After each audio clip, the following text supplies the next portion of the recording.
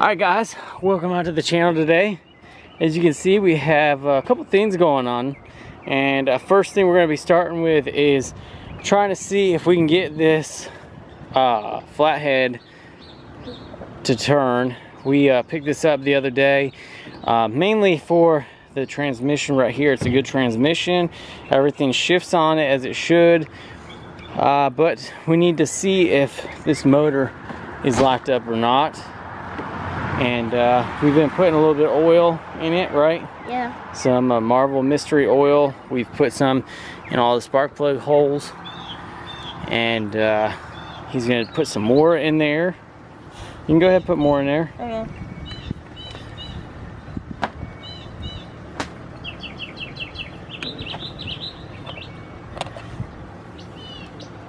And uh, we got a wrench on here and we're just gonna be trying to uh, spin this and see if we can get this broke free, Where loosened up so we can uh, get it going. Where does this oil even go? Do what? Where does this even go? It goes on top of all the pistons and everything and it soaks down into the engine, hopefully. I do it? Uh, no, that's... Come on, you gotta push. You put some effort into it. Yeah. Let's see what we got here. Yeah. How do you do it so good? If this thing doesn't bend, and I might need to going that way. Alright, one more. It seems like it wants to, but it's not. Well, that's the main. Wait, why is that thing? This is just one of the nuts right here. Oh. I'm gonna probably get this pulley off. Let's see what's. Pulley? I hold up that in there. cool. Pulleys. I hold up that in cool, Daddy. Pulleys. Yeah, pulley. Yeah. If that thing's not fitting, I gotta fit one. It's I don't know what that was. I don't know.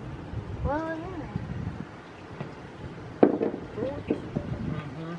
Put that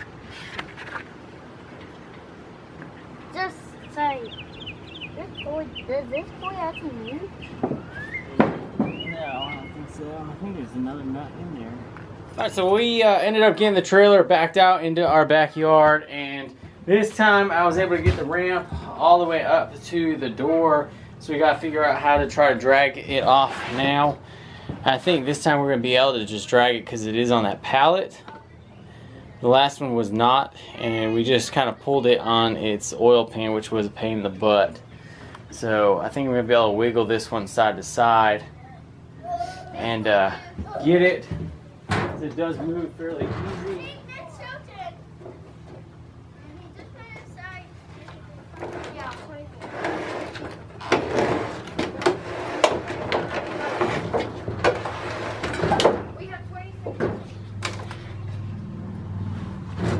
Getting it up over the crack might be some trouble.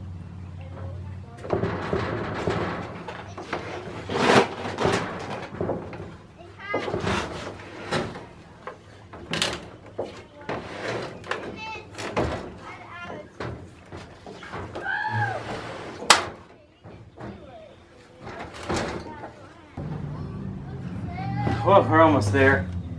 Definitely a lot easier than uh, the other one. We're gonna get this put in here and then we'll look at it a little bit more. Alright, so we got a new plan. We got these dollies that I've had for a while. We're gonna try to set it up because the pallet has completely been trashed. The motor broke right through all the pieces of wood. So there's these things that are supposed to be 1,000 pound capacity and uh, we're gonna test their limits. I have two of them. Hopefully I'll be able to spread the load somewhat and uh, maybe get it in there. So I think we're gonna remove that pallet first and then uh, try to put one on the back side. If I pull up on that, you think you can rip that thing out? Sure.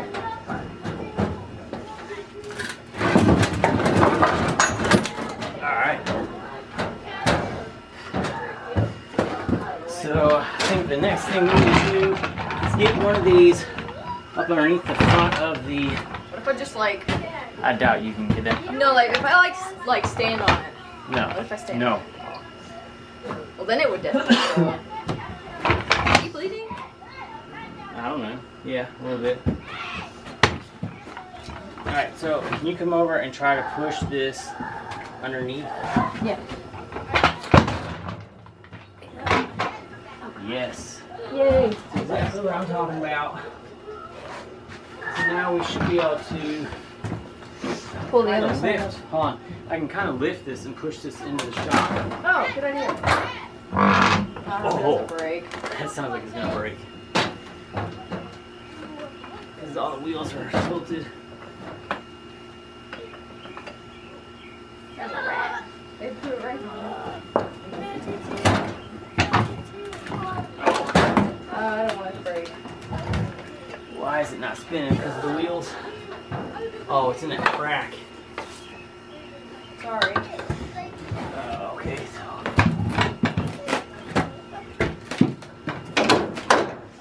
That's crushing the front of the shop. You need a bigger. Oh.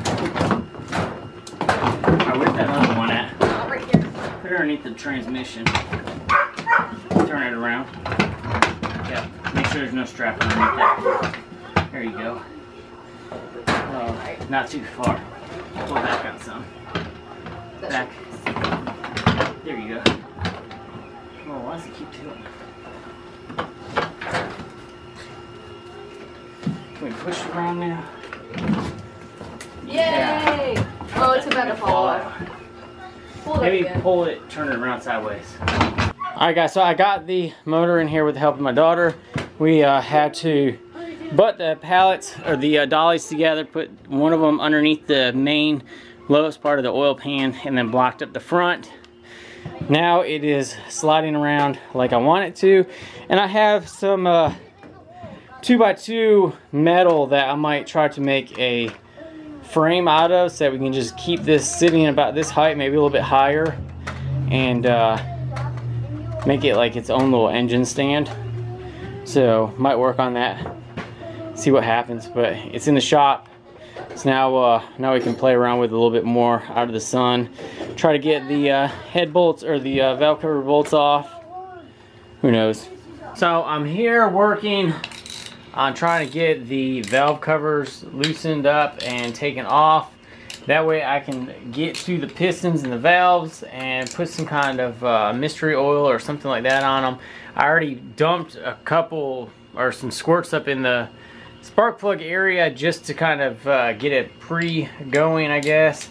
And all the bolts all over the engine have already been sprayed with PB Blast uh, last night whenever we got it home.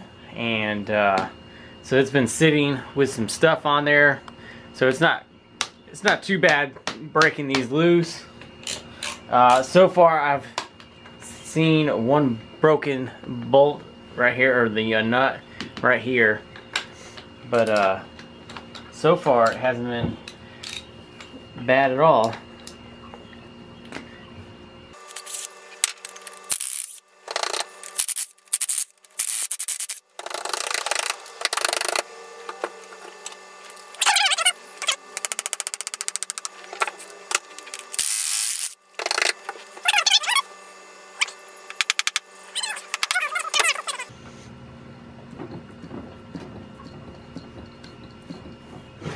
Slowly working itself loose. The top is fairly free. I don't see anything on the bottom that's holding it.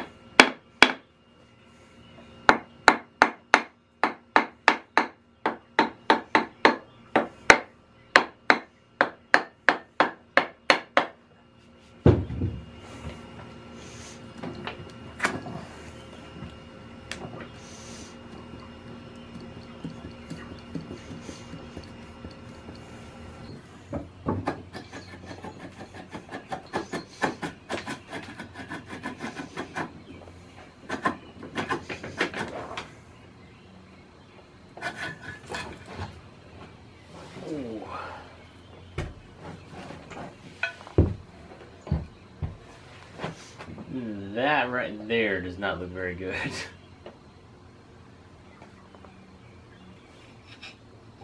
Not much on that one.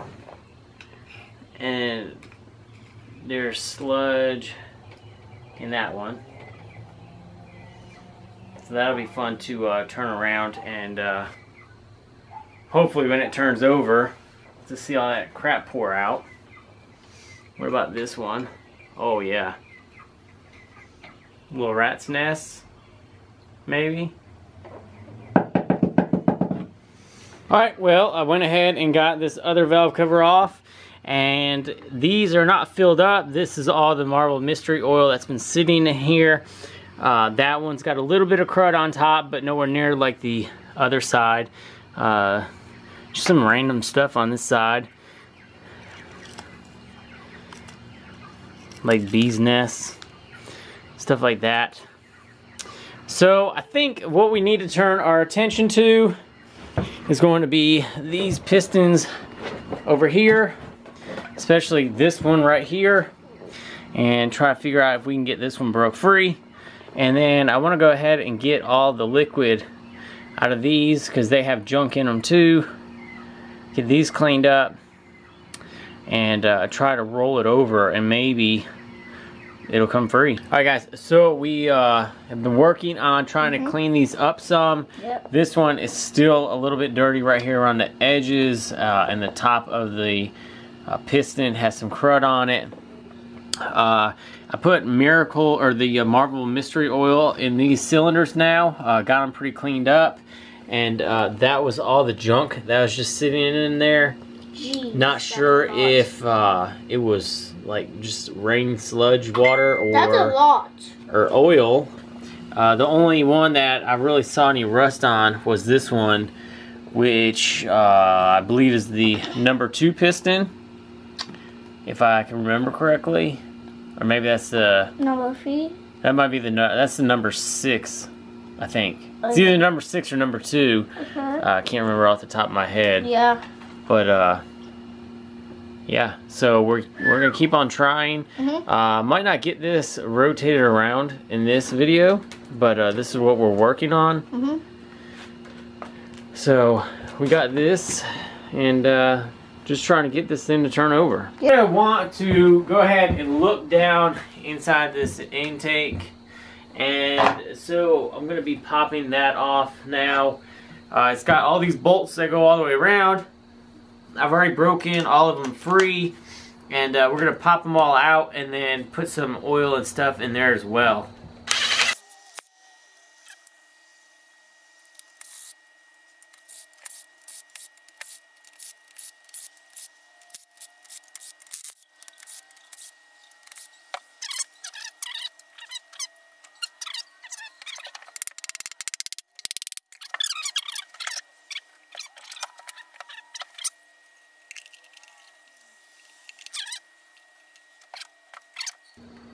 Wow, that's actually cleaner than the other engine.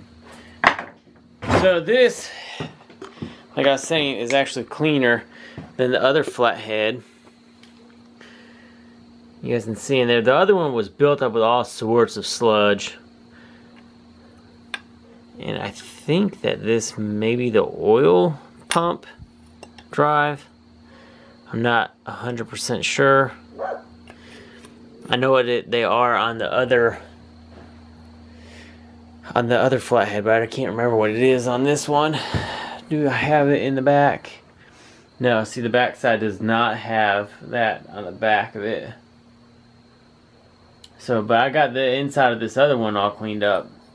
Really nice. This one's not going to need any major cleaning. So I've had the uh, mystery oil sitting in the cylinders for a couple days now and uh, we're going to go ahead and try to see if it will spin over. And uh, if it doesn't yet we're going to go ahead and try to pop the pistons on the top of them and see if we can get anything to uh, break free any kind of rust or anything like that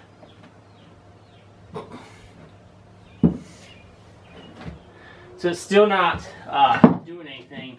So I've got this board. Um, this has been cut to fit inside the cylinder. We're just going to give it a nice little whack on each piston.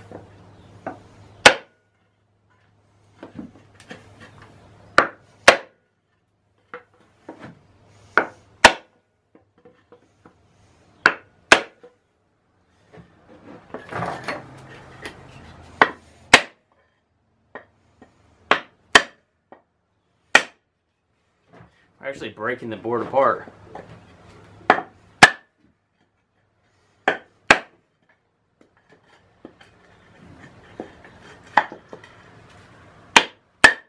Loosens up that front bolt. We also got to make sure that none of the valves are stuck and that could be the reason why. I don't think they are. I did spray stuff on those as well.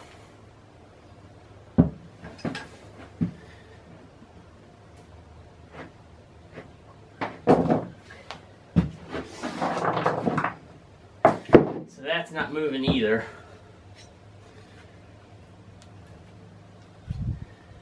All right, I'm gonna go ahead and start uh, start checking the valves and just kind of trying to pry on them and see if they will all move up. Like see that one's up.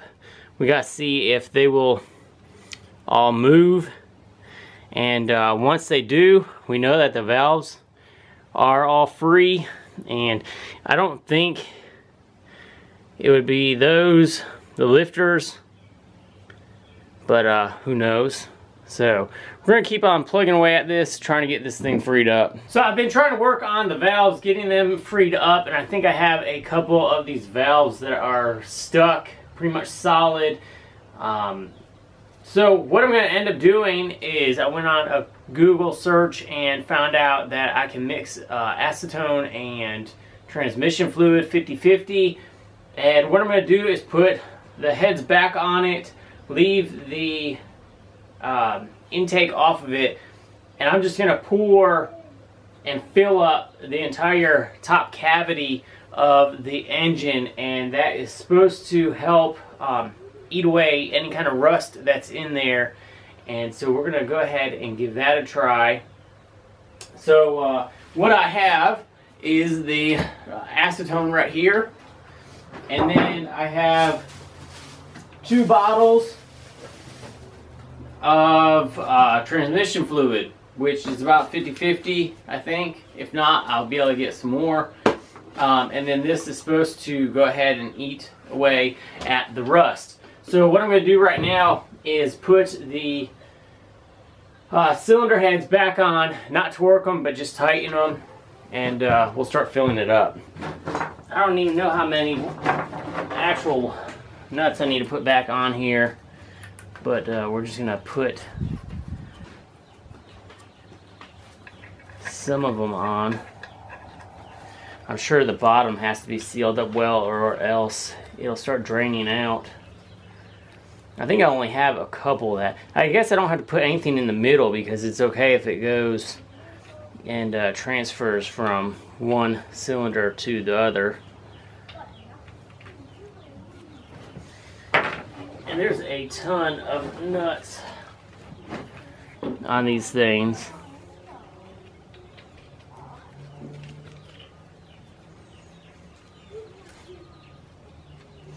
But I'm pretty sure I have some stuck valves and that's what's possibly what I'm hoping is causing it not to rotate. Just the half and half of the acetone and the automatic transmission fluid. I'm using this bottle and uh, just I'm using it because I can squirt it right into the spark plug hole.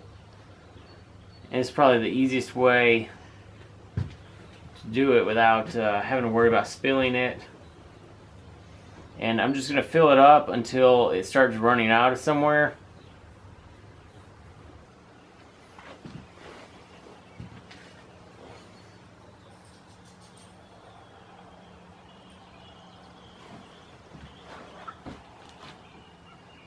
I've gotten all the mixture put in on the flathead, uh, filled up the spark plug holes and also the intake holes and everything like that. Sprayed it on all the valves and uh, now it's just going to be a waiting game. I went ahead and unmounted the starter as well and I'll be trying to take off the transmission, trying to reduce the amount of uh, pieces on the engine that would possibly be affecting it from turning And also I'll be able to look inside the bell housing, maybe re uh, remove the, the clutch and the flywheel stuff so that I can pull those off and get them out of the way, get them to uh, reduce the amount of things that I've got to try to turn. But I'm pretty sure that it's going to be the valves that are sticking and I mean obviously the pistons as well. So we're going to try not tearing this down, uh, but hopefully trying just to get this going like this and uh, we'll see what happens. But uh, for the next couple weeks I'm going to be coming out here daily and just trying to push on it, trying to get it to rotate over and uh, hopefully one day this will break free. Um, so that's all I got for you guys today on this flathead. We will be giving you guys updates along the way, just every now and then, um, especially if I get this unstuck. So if you guys are interested in all the car stuff, you guys can go ahead and check out that playlist. Uh, got a couple different things on there. Thanks guys for watching. If you guys are new, hit that subscribe button. Thanks for watching. I'll see you guys on the next video.